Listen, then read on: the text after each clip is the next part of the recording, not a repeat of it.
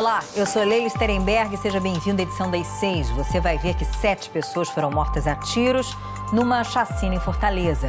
Em Niterói, na região metropolitana do Rio, um homem dispara contra amigos, mata um e deixa outro ferido. O prefeito do Rio, Marcelo Crivella, se reúne com comerciantes da Vila Kennedy depois da retirada dos quiosques da praça principal da comunidade. Donald Trump diz que confia na promessa da Coreia do Norte de não fazer mais testes de mísseis até a reunião do líder norte-coreano com o presidente dos Estados Unidos. Os colombianos se preparam para as primeiras eleições com a participação dos ex-guerrilheiros das Farc. A votação é amanhã. Fique com a gente, o Jornal da Globo News já começou.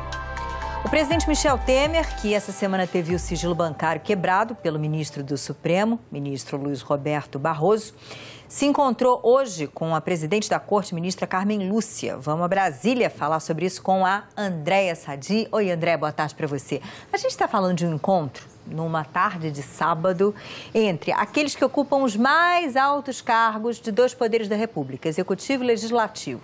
Não deve ter sido para jogar a conversa fora, né?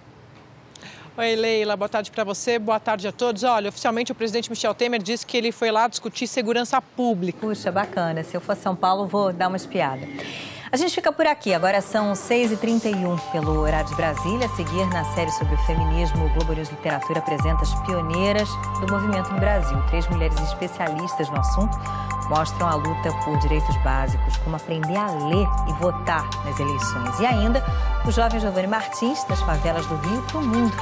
O Globo News Literatura começa então já já. E a gente volta logo mais.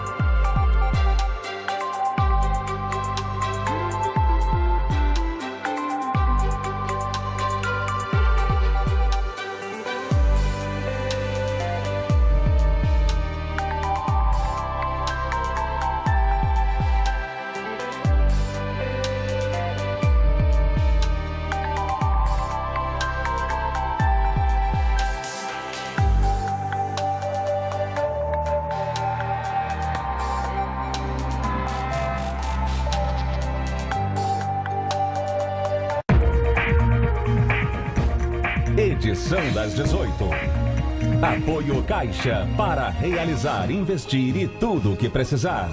E Fiat Toro, quer boas notícias? Aqui tem força, design e tecnologia.